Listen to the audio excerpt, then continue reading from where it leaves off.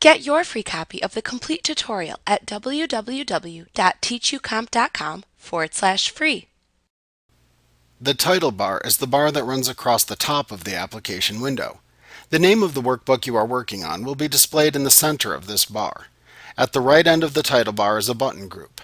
There are four buttons in this button group. They are, from left to right, Ribbon Display Options, Minimize, Maximize or Restore Down, and Close. These buttons affect the display of the application window. Clicking the Ribbon Display Options button will show you options for changing the display of the ribbon in a drop-down menu. You can click on the choice of ribbon display that you prefer within this drop-down menu to set the appearance of the ribbon within Excel. Clicking the Minimize button will send the application window down to the Windows taskbar, where you can view it again later by clicking its entry within the Windows taskbar. Clicking the Maximize button will enlarge your application window to fill the entire display.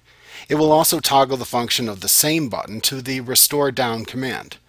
Clicking the Restore Down button will change the size of the window, allowing you to size and position it on screen as you wish using your mouse. When you click the Restore Down button, it will toggle back into the Maximize button.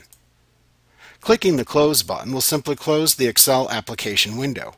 If you have unsaved changes in the open workbook, you will be prompted to save those changes before the program closes.